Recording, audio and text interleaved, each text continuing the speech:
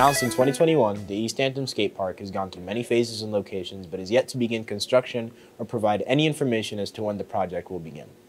Without any designated location for skating, the skateboarding community in Easthampton is set to create their own solutions.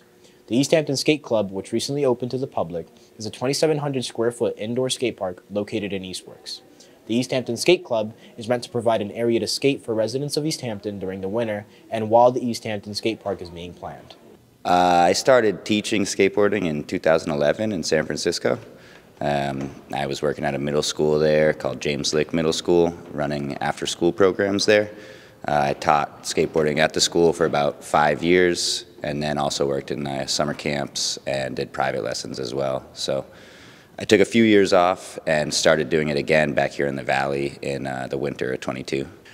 There's just absolutely nowhere to skate in the winter, um, number one. Number two, uh, the you know youth of the area have nowhere to learn. Um, like we spoke about the Northampton skate park, it really just has a gigantic bowl, not a single other quarter pipe to even learn how to drop in on.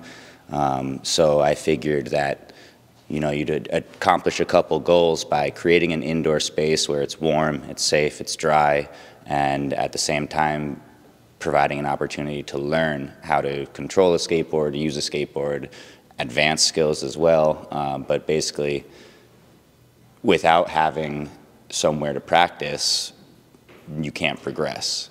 And so that was the big uh, motive for, for opening up an indoor. I think the space has a lot to do with the public skate park that we're trying to build in Easthampton.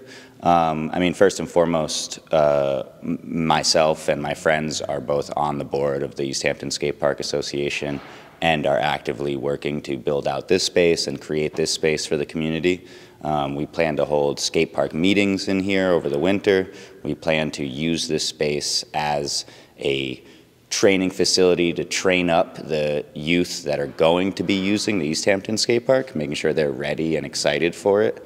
And on top of that, we want to use this space to show that skateboarding has value and skateboarding has civic value, cultural value, and um, you know, kind of change the perception of the town and some of the town's people, and and show that there is a community, a collective community, and build on it and create more of it. The last update given about the Easthampton Skate Park was in June 2022, and the current proposed location is behind Eastworks. While we wait for updates, be sure to check out the Easthampton Skate Club at one of their open skate days in Eastworks. And thanks for watching Culture Shock.